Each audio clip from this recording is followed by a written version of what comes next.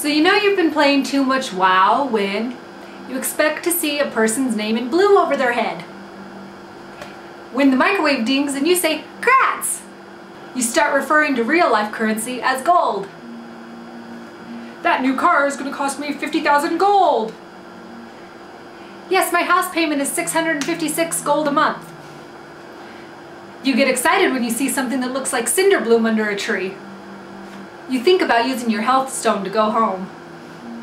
You know you play too much WoW when the drop rate of your girlfriend's panties is low. You know you play too much WoW when you refer to the local shops as vendors. You know you play too much WoW when your boss has a yellow over his head. You know you play too much WoW when you refer to someone's age as their level. You know you play too much WoW when you dream about it. You know you play too much WoW when you refer to an elephant as an Elekk or a deer as a Talbuk and can't remember for the life of you what they're really called. You know you've been playing too much WoW when you look for the numlock key when you're driving your car.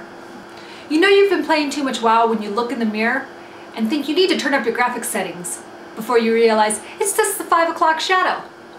You know you play too much WoW when your Mountain Dew is fuller than when you started. conscious.